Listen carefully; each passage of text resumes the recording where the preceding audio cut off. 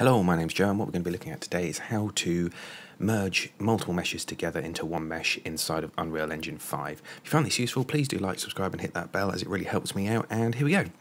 So, what we've got here is we've got a chair, two chairs, and a table, all separate. And we want to basically merge these all together. Uh, maybe it's just for keeping the scene tidy, you know, have, rather than having tons of multiple chairs everywhere, or to help with performance like draw calls and things like that and um, or maybe you just want the chairs, for instance, to use the same texture, material sets, things like that. So what we do is we select our chair, and you just hold Shift to select uh, and click each item that you want to, uh, select.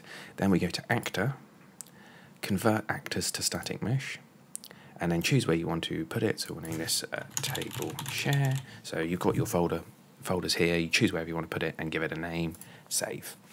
Now, what happens is we can drag that into the scene and it's all one item. You can see here that it's all, all one item and um, this is all individual. Um, so yeah, it's as simple as that. Um, this is quite often used to, as I say, either keep uh, your scenes clean or uh, more commonly to help with performance increases. So hopefully this has helped and cheers.